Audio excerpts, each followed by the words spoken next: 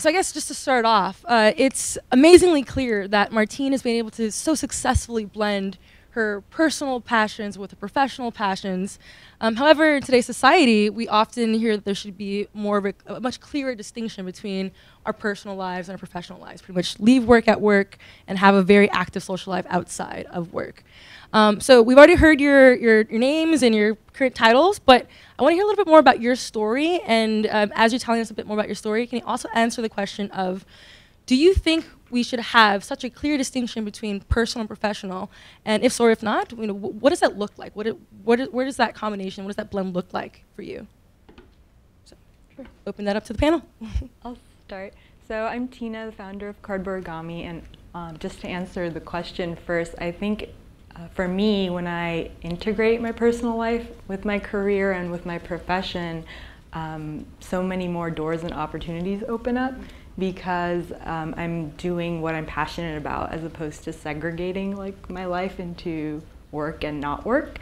And so, for example, in 2007, um, while I was at the USC School of Architecture, I designed a portable shelter that's called Cardborigami. It's made out of cardboard folded into an origami structure, and it's developed. I designed it with the intent to help the local homeless community.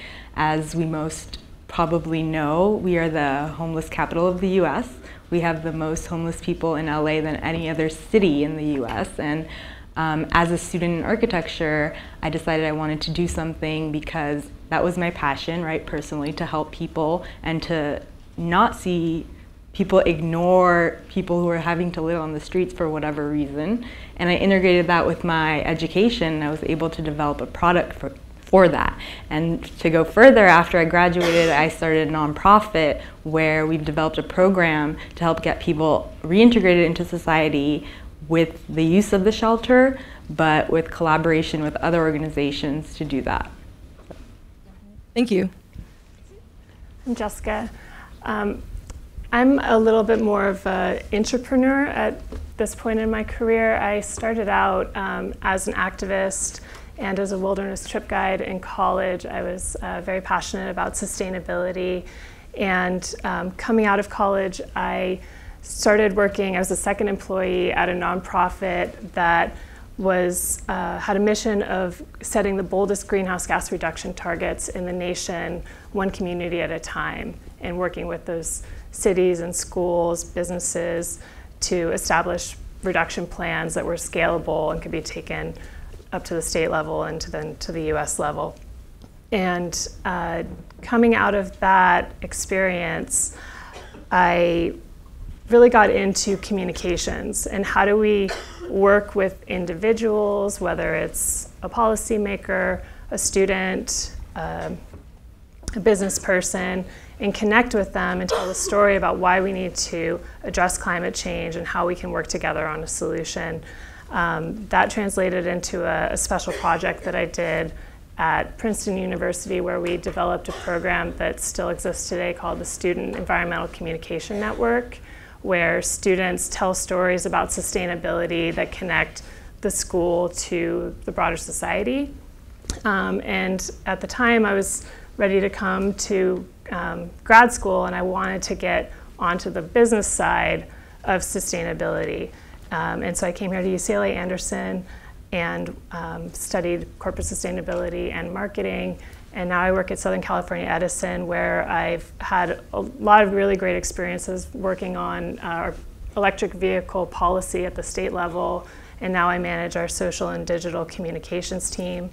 Uh, and it's been a great experience because it's about how do you, you know, take this vision for a better future and everything that you've learned about the science, the policy, what it takes to make a difference, and translate that at the individual level. And so I love how digital communications allows for that connection and allows for us as a company that's a responsible company to actually connect with our customers, give them solutions, listen to them, get them involved in conservation, um, in connecting their electric vehicles and connecting solar. And uh, so for me, I, I really feel like I couldn't imagine not connecting my personal life with my work life. I think that's just been the consistent thread. I remember being in business school and having a, a moment where I was thinking about just going a traditional route with, with marketing, for example. And in interviews, people would ask me, are you really up for this? Like you're so, you know, so, so, excuse me, you're so about sustainability, you know, sustainability chair here, blah, blah, blah. And um, looking back on it, I'm so glad that they asked me that question and they challenged me to find that role that matched my passion with my you know, ongoing interests in areas like marketing. So that's where I see myself. Yeah. Awesome. Thanks, Jessica. Mika? Hi, um, my name is Mika Onishi. Um, I'm the co-founder of a pre-launch a startup called uptogood.org. And uh, we are about to launch in a couple of months, but what we are is um, we are a video-based social action platform. And what that means is we power campaigns that are based on what we call impact stories. So an impact story to us is um, any short form, long form video content that has the potential to make an impact in the world. So we're talking documentaries or it could be a little video clip of someone talking passionately about something that they believe in. And what our platform allows us to do is for, for anybody to create a campaign and associate a piece of action to it. So what we've defined is fund it, which is crowdfunding sign it, which is petitioning, and promise it is to pledge to do something really simple, and clicking to promise it and to share it. And so it's this whole ecosystem that we're building. And you know, I've been at this for about a year, and my former um, role was I was the president and publisher of a company called Clique Media. And uh, some of you might be familiar, but uh, it's a media company and it's a parent company of a very popular online fashion magazine, a celebrity fashion magazine called Who What Wear. So it might be a little bit unexpected that I went from fashion to this social good space, but um, it really kind of brings it back to this question of you know aligning your personal and professional life and aligning your values to your professional life. And I've always loved fashion. And so I was very grateful to um, have the role at Who What Wear and learned a ton. But I found myself kind of going, you know, there's something more that I want to do. And about two years ago, I found myself watching a lot of documentaries on Netflix. Um, I think some of the early documentaries that I was watching was food documentaries. And I would watch it and go, oh my God, I can't believe this is happening. And I became a vegan, you know? And it was just like I was obsessively watching all of these documentaries every night. And, and then here I was, you know, I would go to, go to work and, you know, we were in the business of monetizing influence and celebrities and, and working with brands. And, um, you know, doing all that kind of stuff, and people were talking about Kim Kardashian's butt, and and I'm like, wow, you know, this is there's all this stuff going on, but it's not being talked about in a mass media kind of a way, and so I, I felt a little bit frustrated by that, and I was also very busy, you know, in my everyday life, so I found myself, besides you know, changing my eating habits, kind of going about my life, not knowing what I could do or not taking, you know, not having enough information to know what can I do. You know, it wasn't, I couldn't kind of quit my day job and fly to Africa and save a child at the moment. And um, I know that some people do, but I was not at that place. So I just saw this kind of opportunity to tie it all together. And then I had an aha moment where I thought, well, you know, I'm in the business of branding, social media, digital, and um, and really kind of capitalizing on the influence of celebrities and fashion bloggers. So why can't I take that and apply it to the social good space? So that's how Up to Good came about. So I definitely believe in um, kind of melding those two together. That's amazing. Thank you, Mika. Mm-hmm. Joline? Um, these are all really amazing stories. I, I, I couldn't even really comprehend the question between how do you separate the two because it's so much a part of who I am. Um, just a little bit of background um, on me, about me. Um, I am originally from Colorado, um, and as a child of a biracial family, my mother is Latina and my father is Irish. I'm your original leprechauna. I'm a Blaxican, so I get it. Um, I had such a blending from the time I was just a little person at this kaleidoscope of life and perspectives. And um, I saw my mom working really hard in her own business and my grandparents, and it was happening at home, at work. There was always it together. So, very naturally, I didn't really see the separation between um, work and or personal and professional. And particularly when you're really passionate about something i don't know how you shut that off right in the day and say okay i'm done with that. Now let me go do something else and be passionate about something else. Um, so nonetheless uh, i um, then uh, ended up emancipating myself from my family when i was 15 um, and i um, I have a wonderful family, amazing. It was nothing besides the fact that um, at that time, they had moved to California. They were moving back to Colorado, and I didn't see that for me. I didn't see that as being my destiny, and so um, had the experience of you know really kind of caring for myself while I finished high school, then went on to college, so on. But what does that all mean? I think it means that.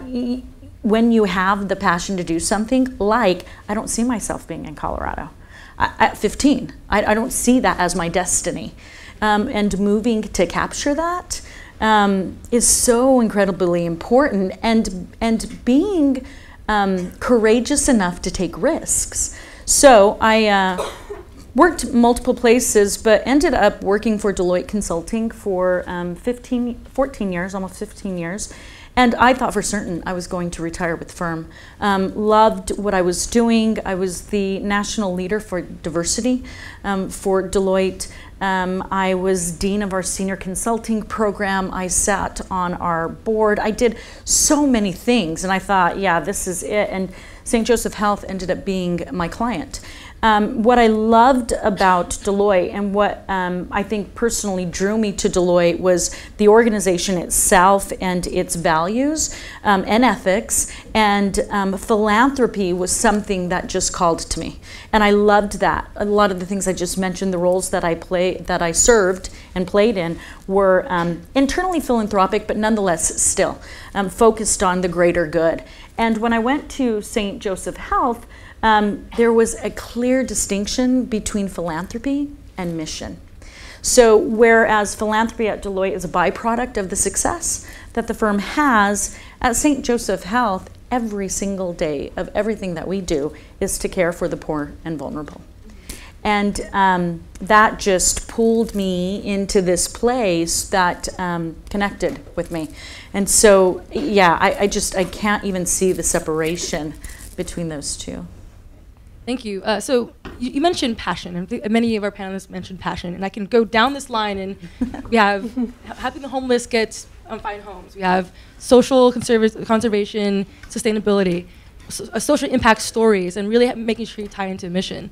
If we go around this room here, I, I, can point out many different friends of mine, and I can tell you this is what is most important to this person, and, and what they're super passionate about. However, often it's, it's, it's hard to kind of stay down that path. So we saw with Martine that um, a lot of what she was doing was focused on transition points. Mm. Uh, she talked about transitioning from being male to female. Um, kind of took us through that story and, and, and what kind of went into that, that decision. Um, so can you tell me a little bit more about maybe some of the values that drive you and also how do you individually see a, a, when you should transition in life? How do you handle these transition points? Um, and, and what do you do to really seize those opportunities? So, start, Mika? Sure. or sorry, Tina. My, my, apologies. No worries. So for me personally, um, a little history about what happened, I guess, before I designed cardboard origami. Um, in 2006, I was introduced to Buddhism, and personally, I was an atheist before, and my whole family is, um, but I am Armenian, so typically all Armenians are Christian, Orthodox Christian, and we're very proud to be the first country that accepted Christianity as a state religion. So everyone, you know, practices it by going to church once or twice a year. But we were we were atheists. So anyway, I went to a Buddhist meeting, and um, what we do is we chant Nam-myoho-renge-kyo. And when I first heard the chanting, it was really interesting to me, and I liked it. And everyone has different reactions, I guess, when they hear it. But the philosophy behind this practice is really the dignity of life. Mm-hmm. And so I started studying this philosophy, and it's based on the Lotus Sutra. And this is the only Buddhist teaching that says that women and men and all life are equal and equally have the potential to be enlightened. And enlightenment means um, a high life condition. It's nothing really extraordinary, it's just a person who is um, conscious right? So I started practicing that, and immediately the first thing that I did was study abroad. And for me, it was uh, a big turning point in my perspective on life because I got to witness firsthand third world poverty. And just today, I saw a great video on Facebook that showed like, uh, you know, life of someone in America versus life in a third world, you know, country. And it was a very like good visualization, maybe something that you would, you know, be showcasing on your website of the difference. And for me, I came back to America saying, oh my gosh, I'm taking everything for granted. And I want to be more appreciative of what I have and give back. And so it was that trip based on my Buddhist philosophy that inspired me to design this shelter. And ever since, it's really changed the trajectory of my career because I'm an architect and you know there's so many other things that architects do like designing you know shopping malls, which is actually what I do by day. Um, shopping malls, mixed use, huge developments for multi-million, billion dollar companies and developers. Um, that actually they have talking points. We discussed the design. How can we keep the homeless people out of this property, right? And for me, it's like, that's not what I'm about. That's not what I want to do. So I was able to start my own nonprofit and it, it, has been successful. We've had overwhelmingly positive feedback and support. And we are actually launching a program this year and we're going to be helping 10 people get off the streets and stay off. Mm. So that's that's a little bit about my passion. Thanks, Tina. Do you want to go? Sure. Um, so so the transitioning point, I talked a little bit about, you know, kind of getting into the whole documentary thing, but you know, I think um, just being open to different kind of inputs, you know. So one of one of a you know really influential book for me has been um, the Four Hour Work Week by Tim Ferriss. I don't know if you guys know that book, but that was really influential for me because you know, of course, the four hour work week is extremely attractive, but beyond that, you know, what's attractive about kind of his philosophy that I picked up on was kind of the courage to be unconventional and to question the standard way of being. And you know, I take I took that and it really, you know, helped. It was one of the many things that helped to guide how I wanted to structure up to good. And I could talk a little bit about how I've structured up to good from a business perspective, but it's very unconventional. It's I don't, you know, um, freedom is an, another thing that I've picked up um, um, just from that book and just in general my, my value system. Um, you know, I want to be able to align my values with what I'm doing and I don't want, I didn't want anybody telling me what to do or having to compromise on those values. So, you know, um, for example, with, you know, on that point, um, what we've done is we don't have any investors right now and it's, it, it, takes a considerable amount of resources and, and capital to build the type of platform that we're building. Um, we, we've been at it for about a year, um, but, and we don't have any employees. Um, and so that sounds crazy, how are you gonna do that? But you know, what we've done is that uh, we've structured a gross participation type of an arrangement with all of the partners, um, all of the, the contractors that we work with. And what that's assured me and my co-founder, my younger sister is my co-founder, um, is that every person that you know we bring on board to help materialize our vision is on board with the success of our, our company. We, we're automatically weeding out people that don't believe in our cause. And also, you have to be pretty confident in your ability to execute. And so, you know, those are two things that resulted from that kind of commitment to doing things differently and kind of sticking to our to our values. Um, also, you know, empathy and authenticity are some values that are very important to me personally and to my co-founder. And I think that you know there are many ways to help the world, right? You can go to um, a benefit and go have a nice dinner and buy, buy a ticket, and I think that's wonderful. I think that you know you can get a T-shirt, you know, and I think that's wonderful. But I think that you know we wanted to kind of do it in a way where people are actually empathizing and authentically understanding what it is that they're helping and feeling compelled to take action. We want to be right there and um, making that easy when you're feeling that emotion. So, you know, a lot of these things have shaped us, shaped us. And, um, you know, I don't know if you guys are familiar with a benefit corporation. It's a new kind of legislated structure. And we very much believe in that. And what it is, is that um, it's a type of for profit corporate entity that puts, um, in a legal sense, the purpose of your business to be not just financially oriented, but socially um, and environmentally oriented in terms of your impact. And it specifically and expi- explicitly puts that as a legal goal. And so we are a benefit corporation, so those are some of the things. Thank you. Um, passion and values. So I am a firm believer that nothing happens by chance. Um, it's core to kind of my belief system. Absolutely nothing happens by chance. I mean, I as I was watching Martine, it, it, it's not by chance that his her daughter is named Genesis, right? That their daughter is named Genesis. It's amazing. Um, and so for me, I, I think, um, and you hear about all of these stories, you can see how they just connected, right? That there is something greater than myself that calls on me to serve my community. I just know that, kind of core to who I am. I know that that, that rings true for me. Um, but I also think that there is, you know, knowledge is power, initiative trumps knowledge. I think that is such a true statement. I mean, if all of these women, right, didn't take the initiative to build the shelter or think about a new organization or the sustainability. You, you have to take what you're passionate about and then do something about it. Um, but I just, I, I challenge everybody in this room as you have your highs and lows in life.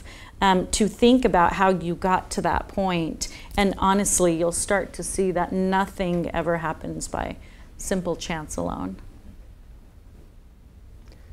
Um, Thank you. In terms of, of values, my mom um, managed the money for the University of California system for 30 years.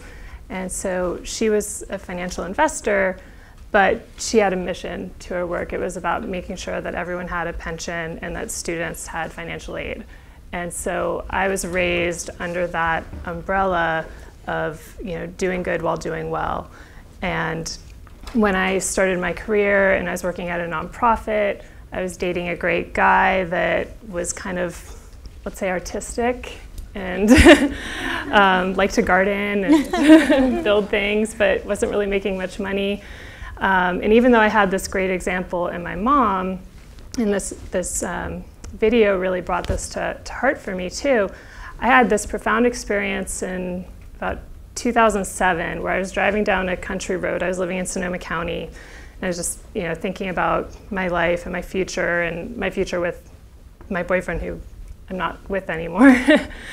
and I realized I, I might have to be the, the breadwinner in this relationship. And I, even though I had my mom, I always assumed that my male partner would make more money than me. Mm. And so it was a really big, profound moment for me in my 20s to realize that that might not be the situation, but that also to realize that I was perfectly capable of being in that role and that we you know put ourselves in, in, a box sometimes about what we can and can't do or what our role is or is not supposed to be so that's really the moment that led me towards kind of business school and wanting to be on the the business side of, of social good um, so that was, you know, both the transition and the values that really came together for me um, in this in this moment. Yeah. I have so many questions for you, but we're gonna have to open up the questions for the, from the audience soon. But um, so my last question for you is more of a curiosity question. So in about one minute or less or so, um, what is the most interesting or intriguing question you've ever been asked or asked yourself? Hmm. Really weird question, I know that. I can go. So um, I think I've kind of touched upon it already, but you know, what is happiness to me? You know, what is success and happiness to me? And I think that, you know, I've asked myself that in my journey, and you know, I've made kind of a deliberate, deliberate choices in aligning, you know, that some of these answers to kind of my life, like kind of creating my life, so that it kind of jives with everything. So. Thank you. Mm-hmm. Okay. Yeah, I can go. All right. um, so when I was working at the Center for Climate Protection, I had an amazing boss who's just really the spearhead of the, this organization. And about two years into working with her, I thought, I'm ready to do something different. And I, uh, I found another job and I went to go tell her that I was going to go work at another nonprofit doing other great sustainability work. And she said, Do you really want to leave working on climate change. It's the most important issue of our time. And she, you know, kind of backed me up against the wall. And her, ultimately, it was her passion and her vision and her willingness to ask me that tough question about whether I was really willing to leave that.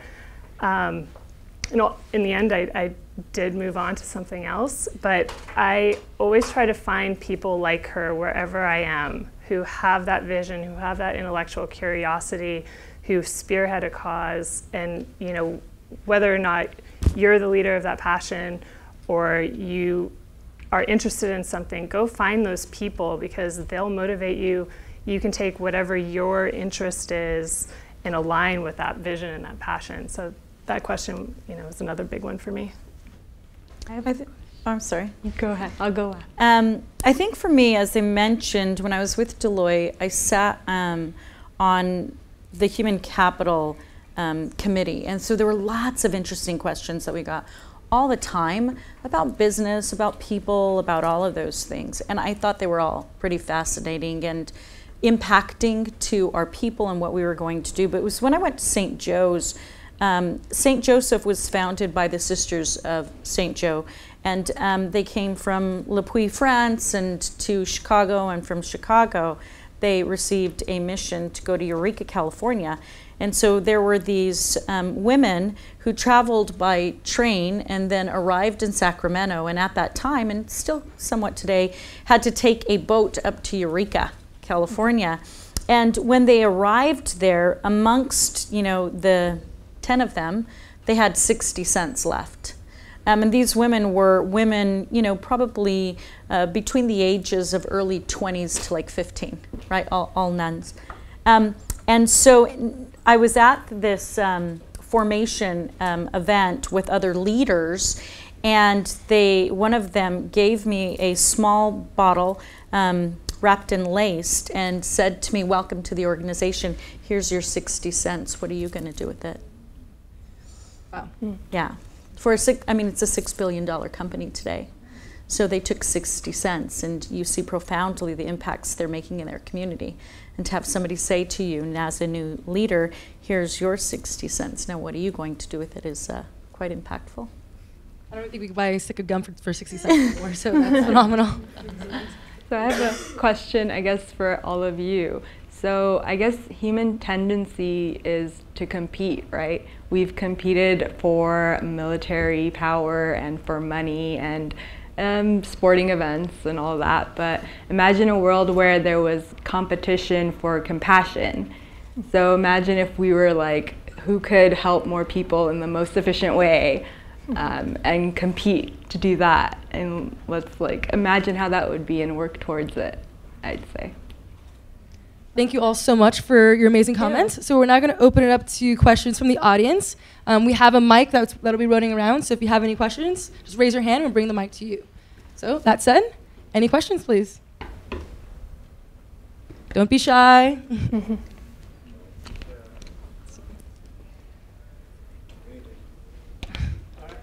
We have one up here in the front. Um, so, I'm sorry, it was M- Micah, right? Right, yeah. Mika? Mika, sorry. No worries. Um, when you decided you were going to leave your job, how Mm-hmm. hard was that to leave like the stable job and to start this business that you don't know where it's going to go? Yeah, it was very challenging. Um, I had thought about, so where I was was awesome, right? Um, I think that it was my dream job in the beginning, and I had a really great time. It was a great learning experience to build a company to where it is. Um, but I just had to listen to myself that I, I could do more. And um, so, you know, it was definitely a process. It was really scary for me to just kind of jump off. And I, I would say it was symbolic in that um, right before I officially started, when I was starting it, I jumped off an airplane. Mm-hmm. I, I went skydiving for my birthday. And it was just kind of that moment of, mm-hmm. I'm going to do this, you know. And I think when when you're doing something like like this, it does take that leap of faith. And I have never looked back. I've never said, "Oh my gosh, what if what if that?" I've always been super clear about what I want and um, never regretted it, never worried, never had any anxiety, and I'm really happy with my choice. Thanks. Um, thank you. Other questions? One up here in the front, please. So uh, this might seem a little bit off the theme, but I'm just really curious about uh, St. Joseph and how your hospital system and your delivery system has uh, reacted or adopted, um, adapted to the post ACA era with the influx of Medicaid patients, and um, if you could speak to that. And also, if you could also tie into the homeless population as well, since you said that you you also serve the poor Yeah, yeah. and the disenfranchised. I'm not sure exactly where your access points are, but how do you address, for instance, uh, ER utilization or hospital admission for people who are just looking for shelter? Do you have any kind of programs or any kind of case coordination or care management or care coordination, all these great words, that help, um, that, that are designed to help these kind of individuals um, maybe put them in some kind of ambulatory care center or some kind of a program to keep them out of the hospital and keep costs down, but also maybe gear them towards permanent housing so that they don't have to s- seek shelter in a setting that, that costs about 2000 or something dollars a night, Yeah. right? More than stay at the Wyndham. Yeah, so I'll, I'll try to unpack that a little bit because there's lots of moving parts there. Gosh, I could spend the whole rest of the time talking about it. Um, as an organization itself, like many healthcare companies, we are still evolving. Um, healthcare is under such an incredible transformation. I don't think we yet completely understand all of the implications of it. But that being said, our strategy is really much more of what we have described as um, an infinity diagram of population health. That when you think about an acute care setting like the hospital settings, that it's no longer just about the hospital setting, right? Most people get well when they're at home or when they're in rehab center centers, excuse me. So when we think about it, we think about acute care, rehab, into the home, maybe from home, now you're doing wellness. From wellness, you have some other um, uh, diabetes control, whatever it may be. You may then need to see your primary care physician. You may have an acute incident again, and then you're back in the acute care center. But everything around that infinity diagram, we believe as a health system, we need to care for that it is the, the caring of the mind, body, and spirit of the individual that's critically important. So when you think about a homeless population um, and our access point, it's a variety of places, and of course, not only in um, a lot of the um, organizations that we serve as part of the as part of the sisters, but in addition to that, in our ERs, right? And so for us, Part of the problem, too, that we're trying to address is mental health. There's a big focus on mental health because you see a lot of people that have readmission into the hospital. Um, sometimes it truly is because of their disease or whatever that pathology be, may be, but sometimes it also is a mental health issue. So there's multiple ways we're trying to tackle it your first question around you know volume to value um, and that is kind of the paradigm shift that everybody's now talking about which was high volume in a hospital to now when we look at affordable care and all of the requirements the government is putting on that is about value for st joseph health this is not a big uh, shock for us, right? Um, the sisters, in their belief around um, healthcare, is that healthcare is a right. It is not a privilege.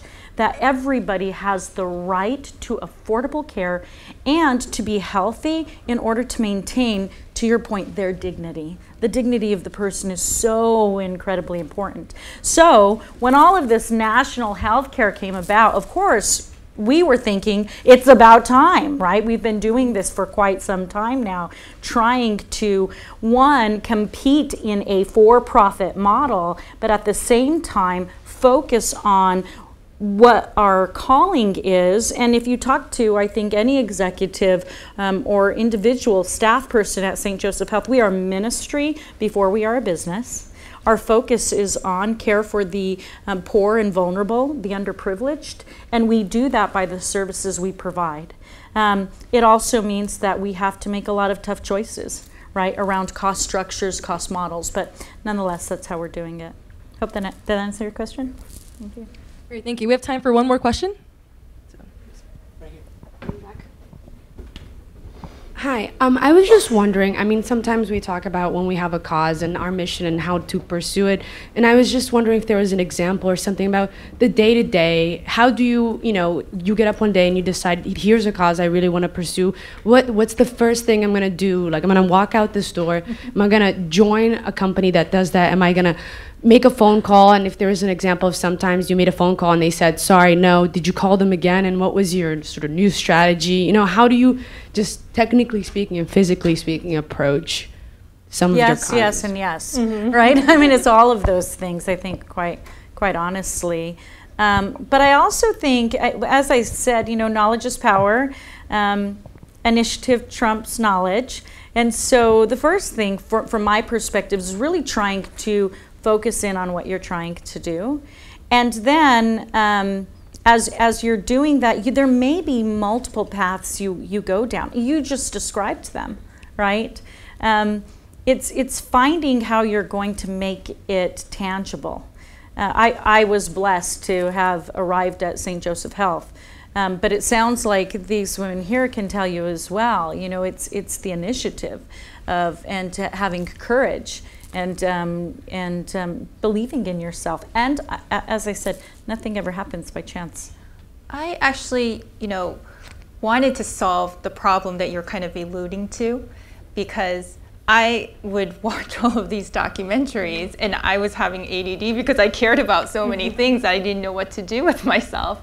And yet, you know, I did I wanted to I didn't know what to do and I didn't have a lot of time Maybe I'm a little lazy, admittedly. And, you know, but there are people in the world that are experts that know, you know, if everybody would just do this one thing, it would make such a big difference. Mm. And I wanted to give voices to those people through my platform. So, you know, hopefully I could do that. That's great. Okay, uh, that's it for questions. Thank you all so much. I'd like to personally thank each and every one of our speakers. Your, all of your stories are inspiring, and I, for one, I, I, can't even believe that you've all accomplished half of what you've accomplished. And I hope to at some point be able to reach reach that same sort of epitome of, of life and professionally and personally coming together so successfully. So thank you all. And can we please get a round of applause for our speakers?